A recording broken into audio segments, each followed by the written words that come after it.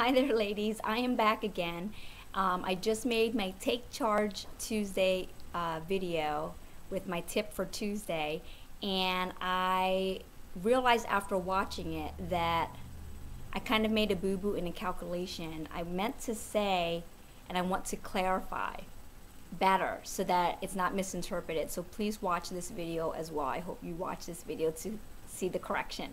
Um, so what I was saying about the times that we have in a day. We have 24 hours in one given day. Eight hours, let's say, is dedicated to working a normal nine to five, right?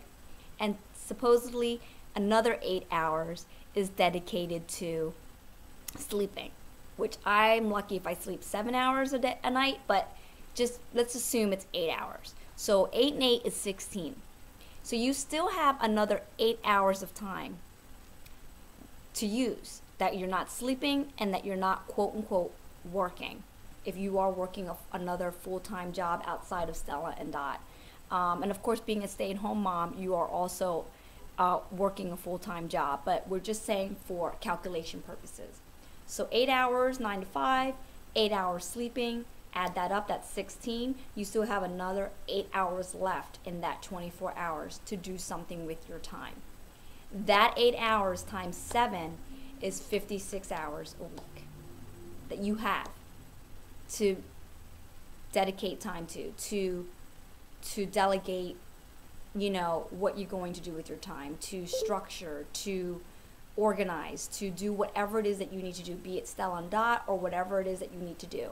But once you look at the chunks of time that you have, you will realize that we are wasting more and more time each and every day. And those little minutes, those five minute slots, add up to something big.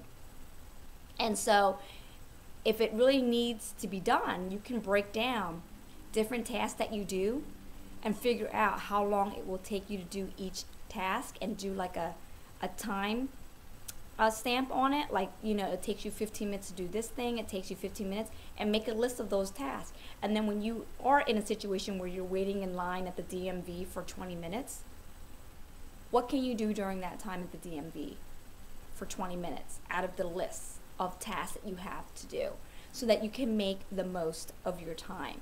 So, because I was saying, I know I said in the video 56 hours a week, and I meant to say that's what's left over um, that you have time to dedicate to.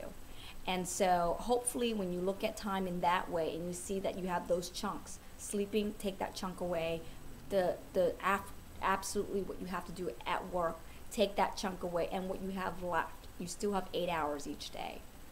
You spend one hour with your family for dinner, you know, the time you get cleaning up, set up a system, set up a plan, organize your time, do a little bit, do it day by day because you don't want to try to change the world in a moment. It takes time. Rome wasn't built in a day. I love to say that to people all the time because it really does take a, takes time. But you have to know what to do with your time.